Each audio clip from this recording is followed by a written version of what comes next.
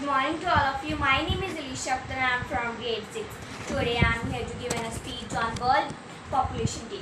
World Population Day is celebrated on 11 July every year. World Population Day aims to aware the general masses various population issues such as gender equality, poverty and maternal health, etc. The idea behind the World Population Day came in 1987 when the population crossed 5 billion. The first World Population Day fallen on 1918, 11 July 1989 as United The day also aims the, to empower of uh, youth and women. China is the world's most populated country with 1.4 billion followed by India having 1.3 billion people.